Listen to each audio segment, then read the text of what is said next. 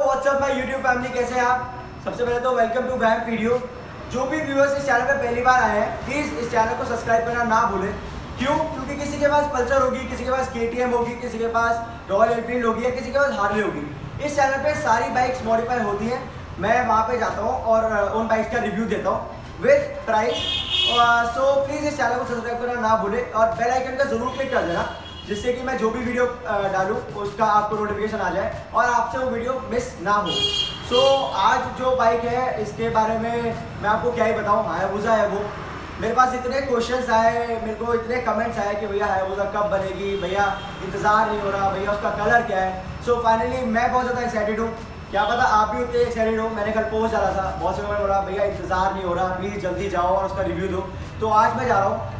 अभी रास्ते मेरे को आपसे कुछ सजेशंस लेने हैं कुछ बातें करनी है तो प्लीज़ रास्ते वाली जो वीडियो है उसको स्किप ना करें। वो आपके लिए मेरे लिए और इस चैनल के लिए बहुत ज़्यादा ज़रूरी है। तो वहाँ चलते हैं और देखते हैं कि बाइक कैसी बनी है। भैया ने कितनी मेहनत करी है उसमें या कितनी नहीं करी है। आपको वो बाइक कैसी लगती है? सो स्टे ट्यून और अब लेट्स वियर आर गेयर क्योंकि सेफ्टी बहुत इंपॉर्टेंट है। सो so,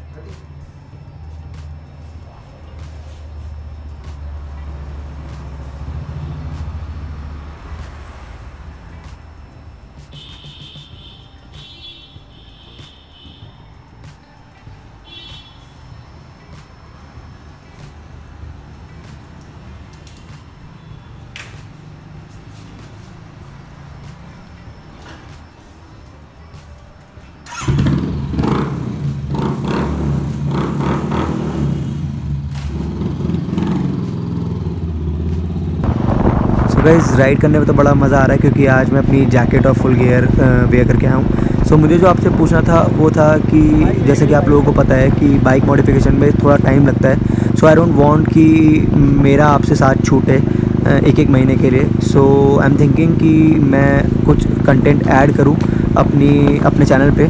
सो so, वो फ़ूड ब्लॉगिंग से रिलेटेड होगा। सो so, अगर आप लोग इंटरेस्टेड हैं प्लीज़ कमेंट करके हाँ या ना बताएँ। कि मुझे वो स्टार्ट करना चाहिए ऐड ऑन करना चाहिए या नहीं करना चाहिए। तो फाइनली आई एम हियर और आप लोग सोच रहे होंगे कि बाइक कहाँ पे है? तो बाइक का अभी फोटोशूट चल रहा है। अगर आपको बाइक की फ़ोटोज़ चाहिए हो तो आप मेरा इंस्टाग्राम पेज फॉलो कर सकते हैं। वैम्प वीडियो फाइव के नाम से उसकी आईडी है। V M P V I D O five so मैं आपको दिखाता हूँ कि बाइक कैसी बनी है। सो so, तो ये है हायाबूजा जो कि करिश्मा जेड थी पहले। ये भैया ने मॉडिफाई करी है। आई होप मेरे को जितनी अच्छी लग रही है, आपको भी उतनी अच्छी लग रही होगी। तो मैं एक एक करके आपको दिखाता हूँ कि इसमें क्या क्या स्पेसिफिकेशंस है। इसका पोर्शन आप देख सकते हैं। बिल्कुल आप कोई बोल नहीं सकता कि ये हायाबूजा नहीं है या ये मॉडिफाइड है। आप देख ही सकते हैं। मैं एक बार इसको इसका लाइटिंग सिस्टम आपको दिखाता हूँ।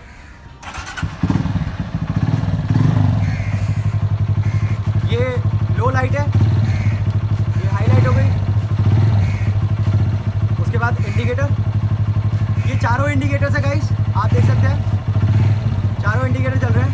अगर मैं स्विच बंद कर दूँगा तो ये नॉर्मल इंडिकेटर जैसे चलता है। वैसे चल रहा है। उसके बाद आप इधर से आइए, मैं आपको मीटर दिखाता हूँ। मीटर कैसा लग रहा है इसका? अब मैं मीटर स्टार्ट कर रहा हूँ।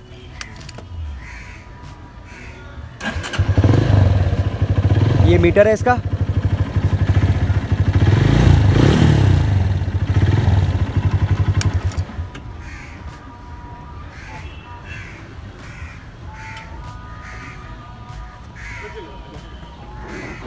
गाइज़ उसके बाद आप स्टीकर देख सकते हैं। स्टीकर की क्वालिटी जैसा हायाबुजा का स्टीकर होता है, बिल्कुल सेम रेड कलर में। इसका जो कलर है, वो ग्लॉसी ब्लैक है।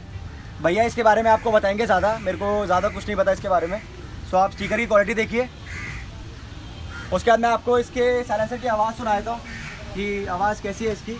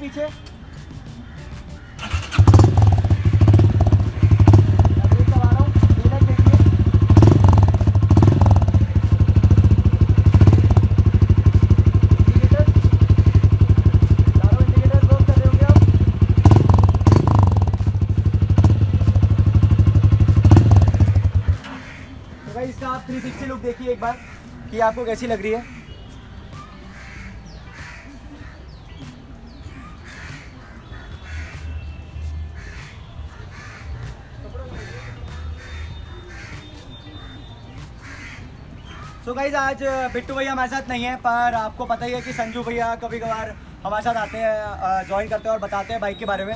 तो आज संजू भैया अभी ज्वाइन करने वाले हैं। सो उनसे पूछते हैं कि उसको बाइक को बनने में कितना टाइम लगा है। थोड़ा टाइम ज़्यादा लगा है क्योंकि बारिश का मौसम था और पेंट नहीं हो पाया बाइक पे। पर इसका प्राइस पूछते हैं कॉस्टिंग पूछते हैं और देखते हैं कि वो क्या बता, संजू भैया ज्वाइन कर रहे हैं। संजू भैया? कैसे भैया? बहुत बढ़िया भैया। हेलो दोस्तों। अब फाइनली तैयार हुई है ये बाइक अपनी और इसको टाइम लग गया है क्योंकि मौसम बहुत ख़राब था। टाइम लगता है, इतने सारे पार्ट्स हैं इसके अंदर कलर के लिए। और ये कलर बिल्कुल ओरिजिनल है। ठीक है ना? और, अब आप देख सकते हो, जो ओरिजिनल हायबूसा के अंदर होता है, वो सब इसके अंदर है। इसका जो पीछे वाला टायर है, ये अपना 190 का है।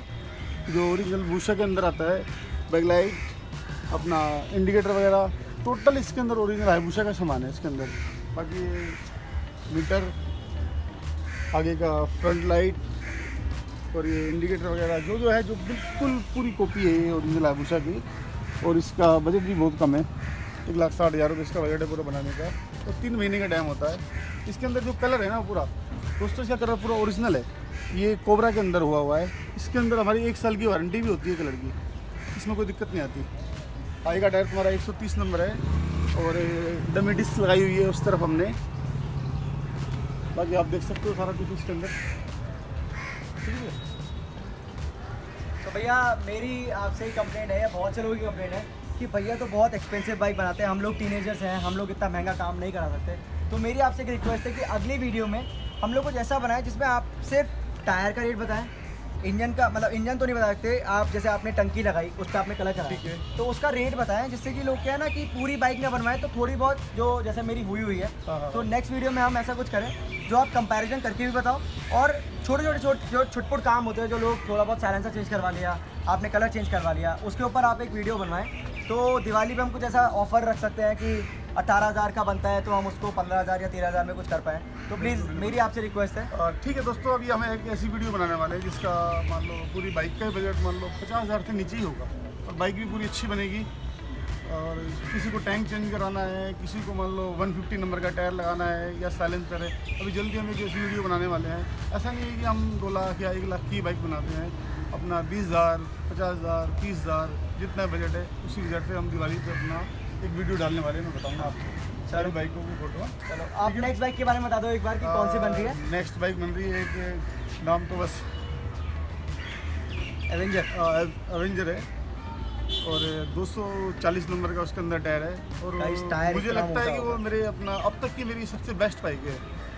बस जल्दी हो होना दो सौ चालीस एम का टायर का इतना मोटा जैसे जितना टायर गाड़ी का होता है उतना टायर उसमें लगा हुआ है।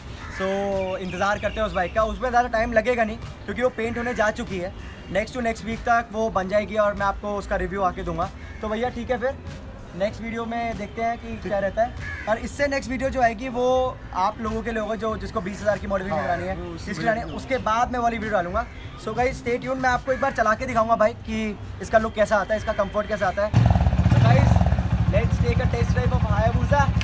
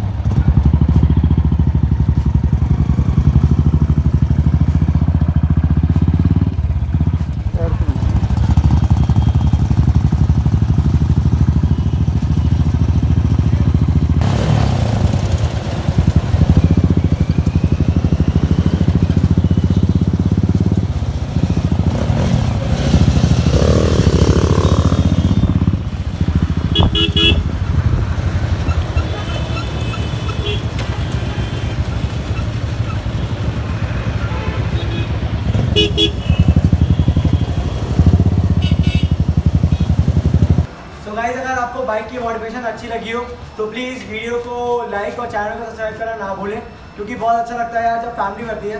और मैंने अभी रिसेंटली ना, मैं जब अभी घर वाला गया था तो मेरा जो विंडशील है वो टूट गया था। तो आई थॉट कि मैं ये विंडशील नया लगवा लूँ, पर ये मुझे काफ़ी एक्सपेंसिव पड़ा था। तो मैं एक नई चीज़ आपके लिए लेके आया हूँ। आप एक बार देखिए कि इसका लुक कैसा आता है। मैंने अपना हेलमेट लगा लिया विंडशील ये निकल जाएगा इसका। और ये एडजस्टेबल मास्क है, आप देखिए कि इसका लुक कैसा आता है। ये पूरा आपका कवर हो गया। अब देखिए, इसका लुक कितना चलता है, और ये डिटैचेबल है। अगर आपको इसका मास्क पूरा नहीं चाहिए, सिर्फ़ आँखों को बचाना है तो आप देख सकते हैं कि इसका लुक कैसा आ रहा है। इस पर शेड है। शायद आपको अब दिख रहा होगा बट अगर नहीं दिख रहा तो मैं बता रहा हूँ कि इस पर शेड है। और ये सन प्रोटेक्ट मतलब सनलाइट से भी आपको प्रोटेक्ट पड़ता है। जब आपकी सनलाइट गिरती है, आँखों पे आती है तो आपकी आँखें बंद नहीं होती। तो अगर आपको ये प्रोडक्ट अच्छा लगे तो इसकी कॉस्ट शायद साइड फाइव फिफ्टी बैठी है। सो so, आप वाइज़र की जगह इसको यूज़ करेंगे तो लुक भी अच्छा आएगा और प्रोडक्ट भी काफ़ी अच्छा है।